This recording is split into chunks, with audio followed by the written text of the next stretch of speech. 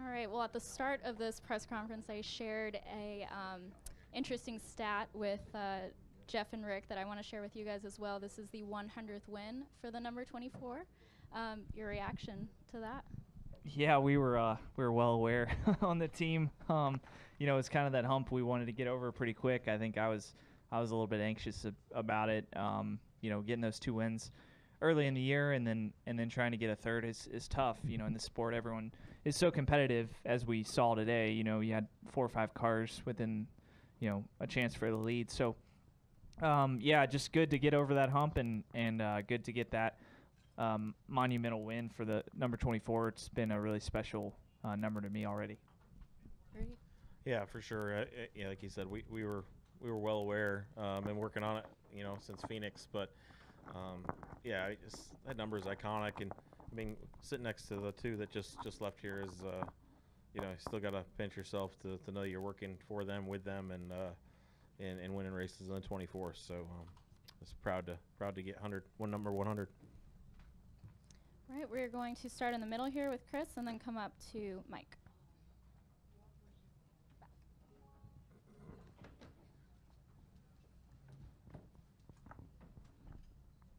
Chris Weaver, WGHP Fox 8 High Point. This is for both of you. You can both answer a little bit of this. What is it about each other that has you finding where you are now, three wins this year? Uh, what do you see in each other that encourages the other, and, and how's all that work? Um, I think that we just, at our core, we trust each other, you know, in the decisions that we make. So I think that that goes a long way in this sport because a lot of times, even if we don't make the right decision, the right choice on a restart or the right, um, you know, adjustment or whatever, like we finally we get back to where we uh, need to be because of that trust. So I think that's what what it takes. Yeah, the trust, and then I think each one of us has picked each other up at different times. Different parts of the team has picked each other up all year long. So you prove that, you know, it's a team. So it's uh, we we've known that. We try to build that culture now in year three, but um, it's uh, it's getting there for sure. All right. We'll come up here to Mike, and then go back to Pete. Mike Embry, NBC. William, were you aware that Harvick's car was somewhat wounded there before the final restart, and did that factor into how you raced at all?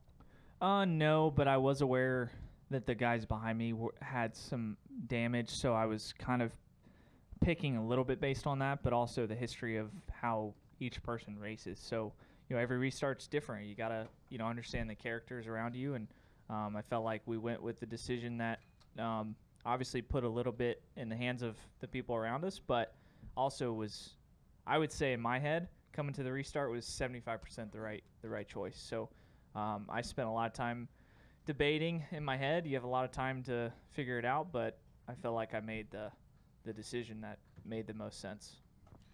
You had a really good view of all the crazy stuff happening at the front there over the last 20 laps or so. And, and it seemed that the green flag you really took off to get away from Harvick, which is obviously what you want to do. But were you concerned that he might attempt something that the other guys had racing for first over those last laps? Um, no, because I feel like, I mean, he's going to do whatever he can to to win, obviously, but it does matter in the sport how you race others, and um, you know, I think with the one, like, you know, he had done that move earlier in the race, and um, it had come back his way, and then and then on that restart with, you know, him them two by you know lined up in front of me that I kind of knew what to expect. So that was part of our decision making there, and then coming to that final restart you have to kind of put that in the memory bank and think about okay who are the people that i'm up against in this situation and um, we try to make the best decision based on that Go to Pete. Hey there, Pete Iacobelli, Associated Press. William, I, that's what I wanted to ask you about. Um, were you prepared before that next to last restart that that Kyle and Ross were probably could get into a situation like that, and so you were prepared to just avoid whatever whatever situation they were in? uh, yeah we talked about it you know that all those things like emotions if they factor into decisions are important for us so um, we talked as soon as the caution came out of what we thought was going to happen and rudy did a great job filling me in um, obviously i can't listen but i can assume based on all the information. So we try to make the best decisions, and I felt like today we, you know, we, we grinded our way through this race. I mean, it was a tough tough race for us, but we kept our heads in it, and that's what made us make uh, good calls at the end to get us in a position. I mean, I don't think we really thought we could win in the first restart when there was that big wreck. Then we started to get a glimmer of hope, and then we started to go to work on okay, what are the things we need to do to to win it. And I also wanted to know how much did last year's finish here kind of affect you coming in this year? Did you think about it a lot this weekend, or did you just put it out of your mind? No, no, I don't. I mean, I think I came here being excited to race at Darlington. I felt like it would be a tough weekend because of you know some of our fall off the previous week. So I was hopeful that we worked on it, and we did, and we had a good long run car. Um, you know, so I was just kind of thinking about those things. I mean, just the just really the things that that matter to us and our team. Um, and we went out and put together a great day. I mean, it wasn't going to be the day we hoped for, um, but that's how it goes sometimes, and that's kind of what we said on the radio. We're like, man, we surprised ourselves. All right, we're going to go up to the press box for a question from Jim Utter. Go ahead with your question. Jim Utter Motorsport.com. Uh, congrats, William. Uh, when you first got out of the car and they were asking you about uh, win number 100 for the 24, uh, you said that you were thankful that to get the opportunity to drive that car, but you also said you felt like maybe you were too young at the time. I was just wondering, what is it years later now that has made you uh, come to the realization that maybe that was the case? Yeah, I think I'm just honest with myself and um, reflective, and I felt like I feel like I'm a different person than I was when I stepped in the car, and it was a lot of pressure, you know, driving the 24. No matter what way you slice it, you know, it's it's uh, a big number and has a lot of meaning, and being with a team like this, so um, so yeah, I feel like I'm that growth process happened, and I don't really look back and say, you know, I don't compare myself to then, so um, and I have different people around me that really know me. So uh, it's just it's great what we built, um, and yeah, it's different. Thank you. Any additional questions up in the press box? No. All right, we're going to go to Bob Pockrass. Bob Pockrass, Fox Sports. Uh, William, last year I want to say you won two in the first eight races and then didn't win again. So I'm curious Thanks for the reminder. Yeah. I'm curious if tho- those thoughts started going through your head after two early wins this year, and then I mean I want to say that ten races is a long or nine races is a l- long winless streak, but like, did you feel that this year was going any different than after your two wins last year? For sure. I mean, I think we had kind of a a chip, you know, and, and a little bit of just um, trying not to let that happen again. And so we've we've been probably overexerting ourselves a little bit just to make sure that we don't repeat. And I think now we're we're safely in a groove here where you know we got to continue our processes, continue what got us here. Um, but it's it's definitely feels different than what we had last year, where I felt like after we won those couple races, we were kind of, you know, we had just kind of a false confidence, I think, and uh, we've learned from that. I have, and uh, I don't I don't intend on doing that again. Go to Jordan. Jordan Bianchi, the athletic, uh, for both of you, I guess. Do you guys, you look at the stats this year, laps led, you know, average running position, that kind of thing, stage wins. Do, do you guys feel like you, you should have more wins than you have right now?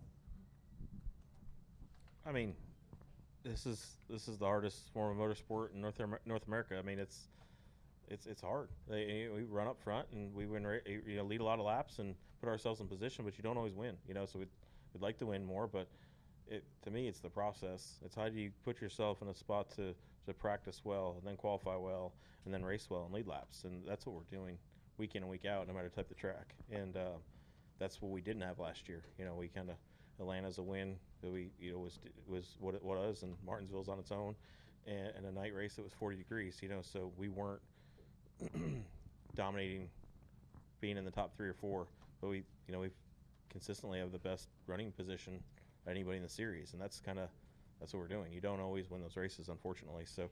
Um, I, I- just want to know how to do the, you know, that our team can can compete like that. Because if you do that and you put yourself in a position to win, you're gonna you're gonna win the races like today where we weren't the best car, but we were close.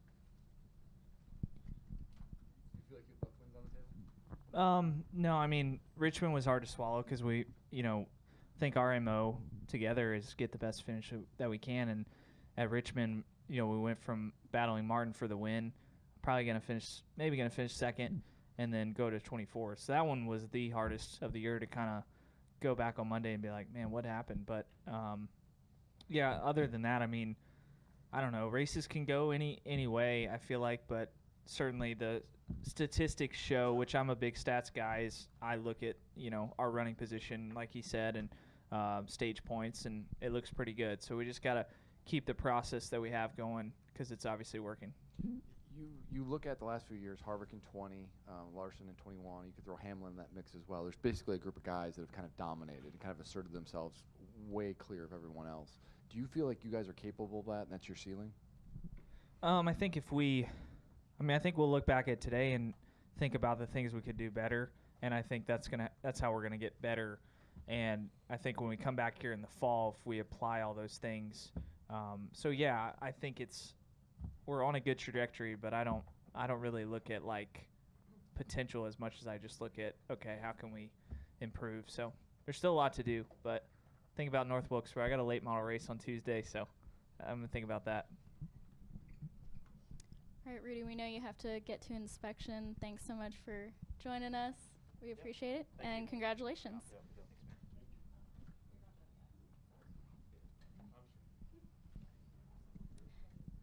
All right, we're gonna go back to Chris.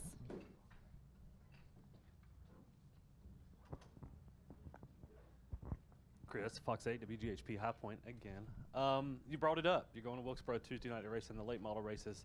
What do you think the fans' reaction is going to be to being back in that place? I'm watching you and a bunch of other Cup drivers Tuesday and Wednesday night. And what do you expect out of the race leading into the weekend to, into the uh, All Star race? Yeah, I mean the track looks gorgeous. I think it, it just really looks nice. The whole the whole layout of the place uh, has that feel of kind of a Wrigley Field or um, you know just a historic place that has a new newness to it. Um, so I'm I'm excited for it. I think the late model race will kind of get me ready. Running the truck race after that, and then running the Cup race on Sunday. So lots to do, and feel like we don't really know what we're getting into yet. So we got to get. I don't know. I think I practiced at one o'clock on Tuesday, so I'll tell you after that. To Jordan. Jordan Bianchi, the Athletic. Uh, we kind of touched on this maybe a little bit the other day, uh, kind of talking about the fighting and stuff. But you look at with Ross and everything today. Um, what would it take for you to to maybe want to confront him and send a message that this is, you know, uh, this isn't how you want to be raced?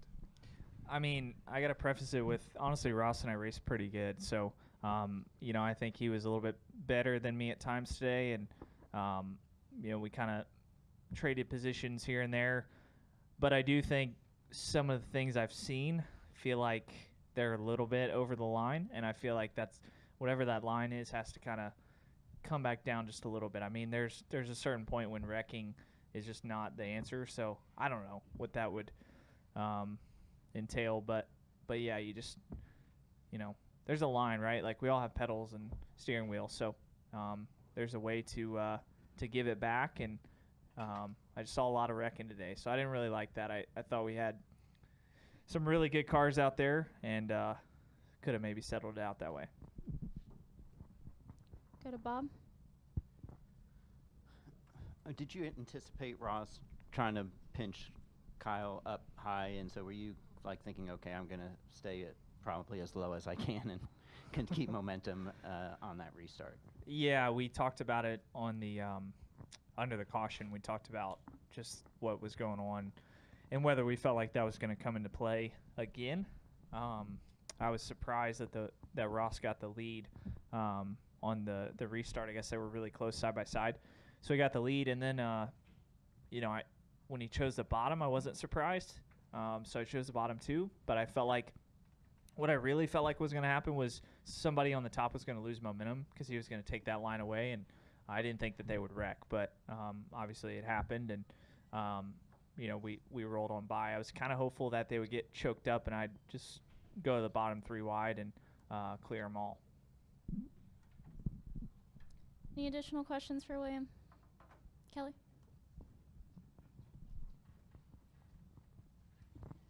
Kelly Crandall, Racer.com. William, so you said you're a stats guy, so you know where you stack up against the competition. But do you feel like this team gets the respect or gets recognized as it should for what you guys are doing and where you, you should stack up in this garage?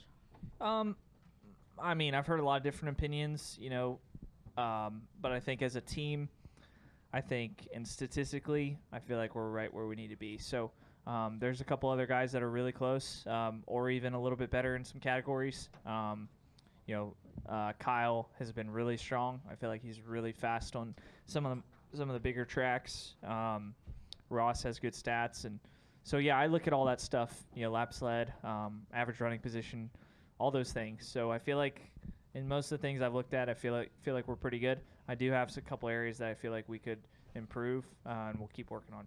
So you feel like you're a top five driver in this garage right now? Yeah, for sure, for sure, definitely, definitely that. It's just it's really hard to separate at the top. I feel like there's a, a few guys that could win um, every week. So being in that little bit is uh, is tough, but you know sometimes they go your way, and you just try to stay stay up there in, in contention.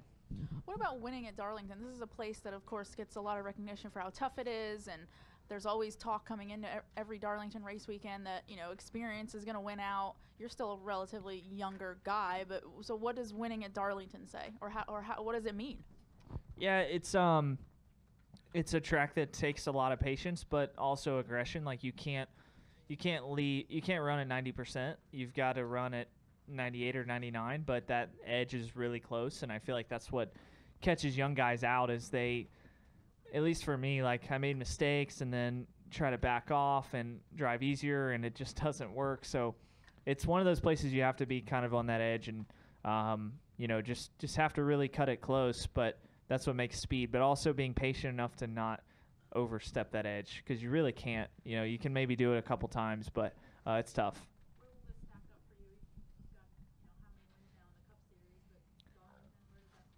Um, it's up there for sure. I mean, probably not the the win that sticks out just of you know dominating the race or anything like that, but um, being up front, being in contention, and and based on the past history we've had here, I think it, it definitely you know it stacks up pretty high. All right, William, thank you and congratulations. Appreciate it.